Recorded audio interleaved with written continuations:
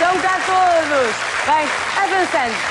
Desculpa lá interromper aqui este comentário, mas estavas realmente também Não, aqui é a isso, referir. é- eu até te agradeço porque ele piscou-me o olho durante a dança Uhum. e eu posso jurar que senti os joelhos a tremer. É, foi uma coisa muito intensa. E mais, isto é uma, uma dança muito cansativa. E aquilo que nós assistimos há bocadinho com a doutora Odete Santos foi um momento raríssimo, que é nós vermos um deputado a suar. É muito, muito, muito raro.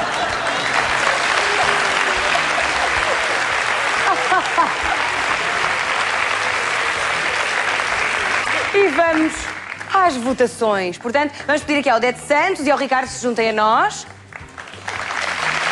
Zé Diogo.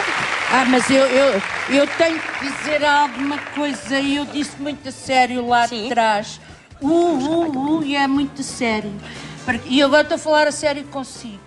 Essas generalizações são muito graves. Mas eu, posso, posso Dizer falar? que os deputados como deputados nunca suam, isso não é verdade.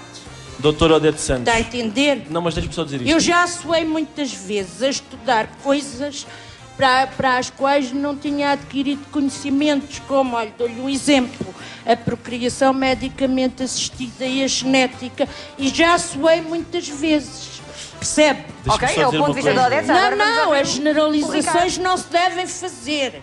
Deixa-me só dizer isto. É, são dois, dois pontos só. O primeiro é. Agora pode-me dar um, dois, três, não me importa, mas eu tinha que Não, dizer não, isto. fez Claro, bem, fez bem claro. dizer. Deixa-me só dizer o seguinte. vamos ouvir o Ricardo. São só, exato, são só duas. Tem direito ao contraditório. Tem, tem, todo. Não, são só dois pontos. O primeiro é que eu sou um pateta. Eu acho que as pessoas É já perceberam. que? Não. É só para dizer que sou um palerma, não é para levar a sério o que eu digo. E segundo, e mais eu não, importante. eu, eu não o classificava como Palermo, agora você é que está Não, a mas sou, classificar. per- pergunta quem quiser. Eu, sim, eu sei.